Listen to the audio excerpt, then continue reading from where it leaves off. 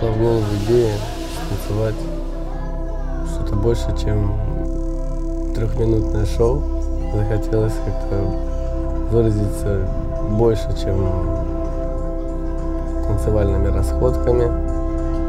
И захотелось приблизиться к состоянию, на тот момент даже не знаю, как назвать, но вот сейчас это слово перформанс.